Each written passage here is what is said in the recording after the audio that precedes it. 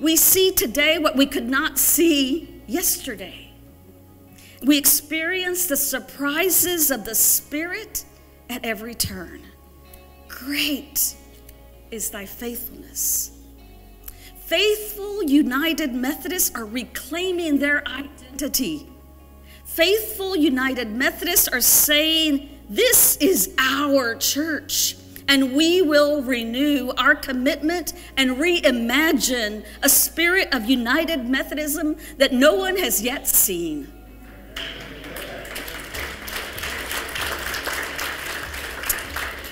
faithful United Methodists are saying, heck no, we won't go.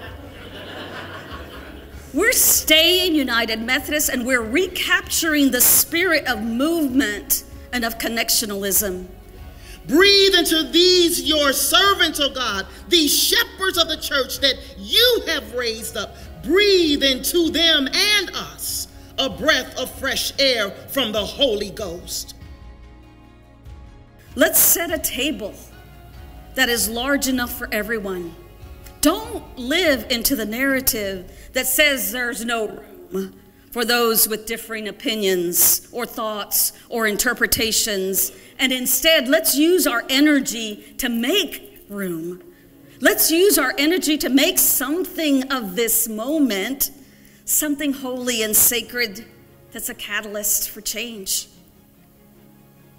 Most importantly, let's base every decision we make on love. We don't have to understand and we don't have to agree, but we have to love.